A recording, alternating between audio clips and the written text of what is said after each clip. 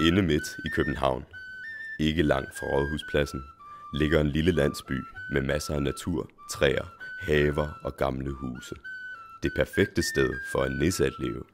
I huler og huller, sprækker og lofter. Er du barn i sjælen, kan du måske finde nissen, hvis du ser virkelig godt efter.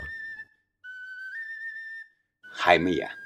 Solen var åbenbart helt urørlig. Men hvis man dog bare kunne få fat i ham, fange ham på en eller anden måde, tænkte nissen. Ah, han fik den idé, at han ville lave et fiskenet. Så han gik ud i skoven, hvor der stadig var lidt kvister og noget bark, han kunne skrælle af, og så gik han ned til vandet og høstede sivene langs den frosne å. Det tog han hjem og lagde i vand og kogte til det blev dejligt blødt og smidigt. Og så spandt han det sammen til lange tråde. Og trådene tvandt han sammen til tykke, stærke reb.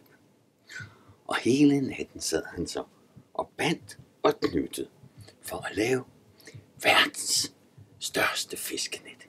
Stort nok til at fange hele solen. Det tog han så med ned til vandet. Gik ud på isen og gjorde sig kæmpe stor. Gik helt derud, hvor solen står op. Og der stod han så klar med sit fiskenet. Og så må I høre, hvordan det gik i morgen.